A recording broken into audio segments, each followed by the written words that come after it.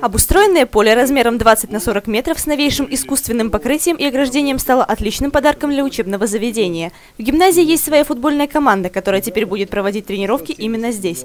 Такой спортивный подарок с удовольствием будут использовать не только юные футболисты учреждения образования, но и местные жители. Площадка открыта для всех желающих.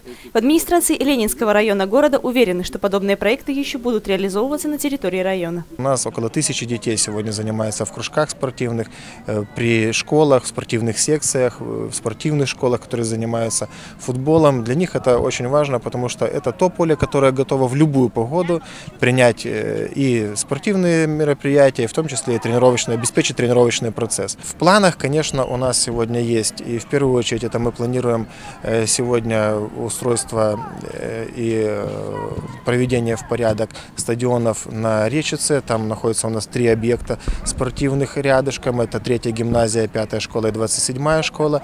Сегодня они имеют один общий большой стадион. Вот на следующий год мы планируем, что приведем в порядок эту территорию. Э, практически построим новый стадион во второй школе «Сад», что на Героев обороны. Ну и другие спортивные объекты, конечно, в учебных заведениях э, постоянно они поддерживаются и приводятся в порядок. Для того, чтобы выросли хорошие футболисты, надо им создать хорошие условия.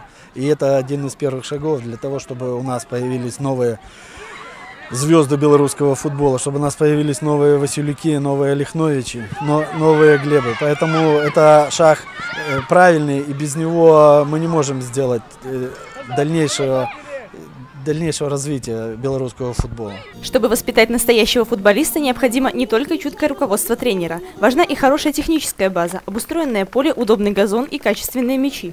У учащихся гимназии номер 5 теперь есть все возможности, чтобы добиваться высоких результатов. Право опробовать новое поле выпало, конечно же, хозяевам и команде средней школы номер 33. За время первого тайма у юных футболистов уже сложилось мнение о новой площадке. Играть уже стало удобней, э, сетка есть, разметка э, все по-настоящему. Но пока это только начало. И все еще впереди. Главная цель проекта – популяризация здорового образа жизни среди подрастающего поколения, а также поощрение физической активности детей и молодежи. Играть на поле с искусственным покрытием можно будет круглый год, независимо от погодных условий. Новый спортивный объект стал достоянием не только гимназии, но и всего района.